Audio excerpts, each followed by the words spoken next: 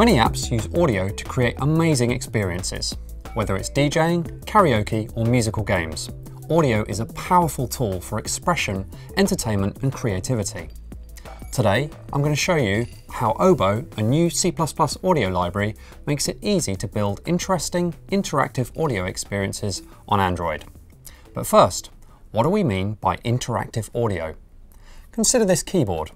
I press a key, the keyboard makes a sound immediately. This makes the keyboard feel incredibly responsive because I get instant audible feedback. It's part of what makes playing an instrument such a joyous experience. But imagine if after hitting a key, I had to wait to hear the sound. This delay or latency would make the keyboard difficult and frustrating to play. The same applies in apps and games. Whether it's rhythm games and karaoke, DJing and scratching apps, virtual reality, synthesizers, drum machines, and other virtual instruments.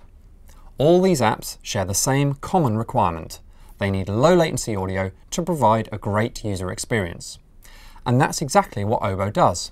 It's a C++ library which makes it easy to obtain the lowest possible audio latency on any given Android device. It works with API 16 and above, which means it's compatible with over 99% of Android devices. Under the hood, it uses AAudio on API 27 and above, falling back to OpenSL ES on older API levels. This way, Oboe provides a single, easy-to-use API which takes advantage of the new features and better performance in AAudio while still providing backward compatibility with older devices. To get started with Oboe, all you need to do is clone the repository from GitHub. This will copy the library to your local machine. Oboe is designed to be built as a CMake sub-project.